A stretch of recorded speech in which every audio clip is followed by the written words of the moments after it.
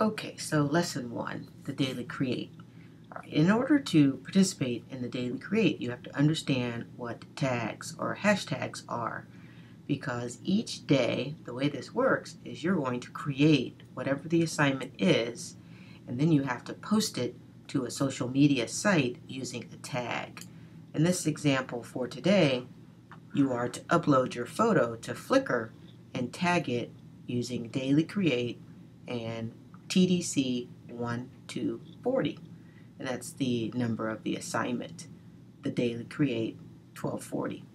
We are also adding our own tag so we can keep track of the work that we do, which is CTLE AZ.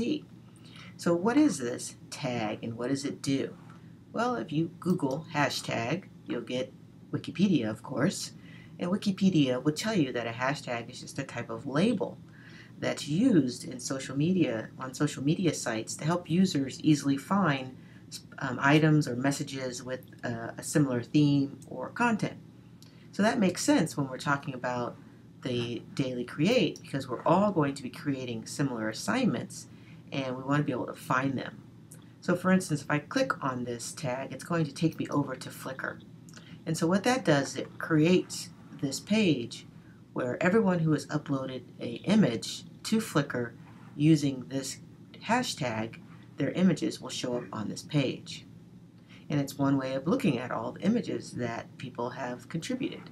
It's the same way that the Daily Create website works when you look at what people have submitted for each assignment.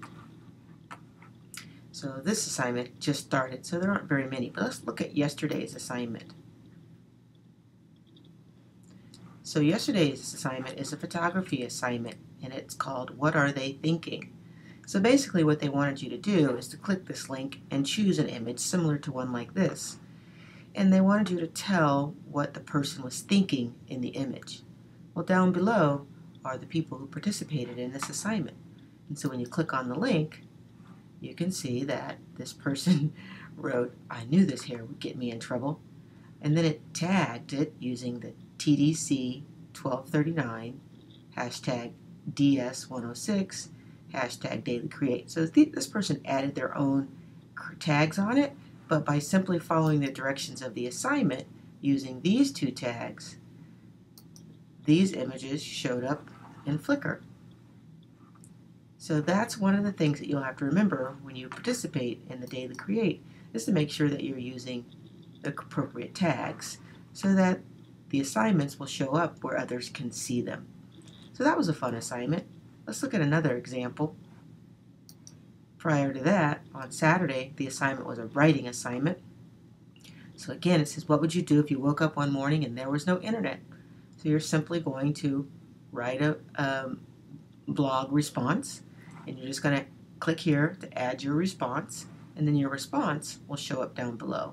So with writing assignments, you don't have to use a hashtag because everything just automatically gets posted to this website. So when we come back, we'll be able to see uh, that your work has been presented. Okay, so now that you know what a hashtag is, you can go ahead and get started with the Daily Create. If you need any help, just give us a call in the CTLE.